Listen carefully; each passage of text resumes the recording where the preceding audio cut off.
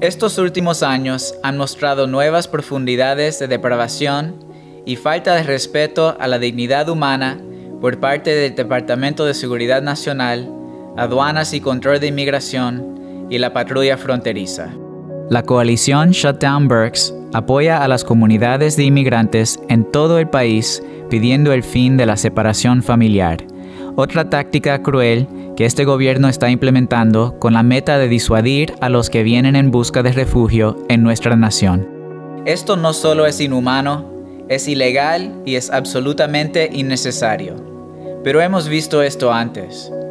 Este objetivo de abusar familias, abusar sus derechos legales, el maltrato físico, el maltrato mental, con la esperanza de disuasión, fue implementado con la misma impunidad cuando ICE comenzó a detener ilegalmente a familias inmigrantes en Pensilvania y Texas.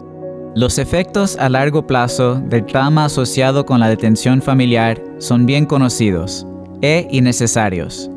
Incluso el propio equipo de trabajo del Departamento de Seguridad Nacional sobre la detención familiar lo ha reconocido, pero esta práctica continúa.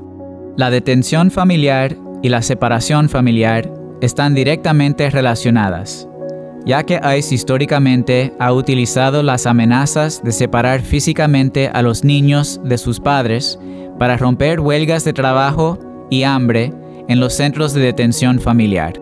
La verdad es que las familias inmigrantes han experimentado durante mucho tiempo el dolor de la separación familiar a través de las deportaciones. Día tras día, las deportaciones separan a las familias inmigrantes en todo el país, como se ha hecho durante décadas. Y las familias son destruidas sin saber cuándo se verán sus seres queridos nuevamente. Separar a los niños de sus padres en la frontera es otro ejemplo horrible de esta marca de injusticia traumática.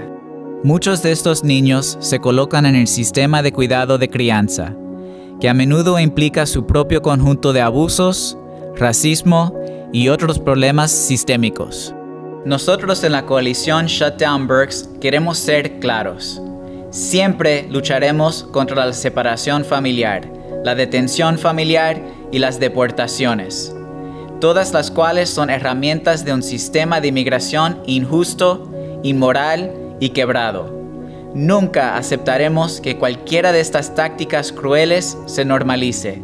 Así no es como ha sido antes. Esto no es normal.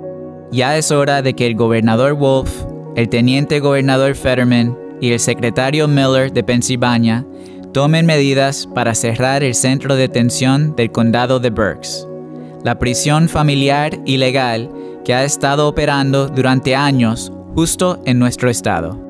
Pensilvania tiene la oportunidad de hacer frente a los ataques continuos de la administración de Trump contra la comunidad inmigrante, al poner fin a la detención familiar en Pensilvania con una orden de emergencia y convertir la prisión en un centro de tratamiento de drogas. La comunidad inmigrante, tanto estatal como nacional, no puede esperar más. Necesitamos acción ahora.